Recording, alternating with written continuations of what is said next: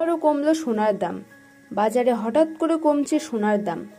গতকাল শুক্রবার সোনার দাম একশো বাষট্টি টাকা করে রয়েছে এবং দিল্লিতে সোনার দাম দশ গ্রাম, সোনার দাম পাঁচ লাখ উনিশ হাজার পনেরো টাকা।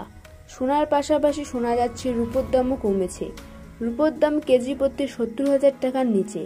সোনার দাম চব্বিশ ক্যারেট, সোনার দাম পাঁচ লাখ একত্রিশ হাজার পঞ্চাশ টাকা, যেখানে গতকাল ছিল পাঁচ লাখ বত্রিশ হাজার পঞ্চাশ টাকা। বাইশ ক্যারেট সোনার দাম প্রতি গ্রামে ঊনপঞ্চাশ হাজার আশি টাকা। যেখানে গতকাল ছিল ঊনপঞ্চাশ হাজার নব্বই টাকা। প্রতি গ্রামে আঠারো ক্যারেট সোনার দাম একচল্লিশ হাজার পঞ্চাশ টাকা। যেখানে গতকাল সোনার প্রতি গ্রাম ছিল একচল্লিশ হাজার ষাট টাকা। চোদ্দ ক্যারেট সোনার দাম প্রতি গ্রামে তেত্রিশ হাজার পঞ্চাশ টাকা। গতকাল ছিল তেত্রিশ হাজার ষাট টাকা।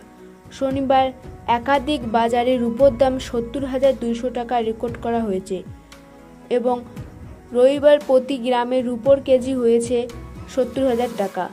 বিশ্বব্যাপী সোনার চাহিদার বৃদ্ধির ফলে দাম বেড়েছে। রাশিয়া ও ইউক্রেনের মধ্যে যুদ্ধের কারণে বাজারে তোলপাড়, সোনা ও রূপোর দাম।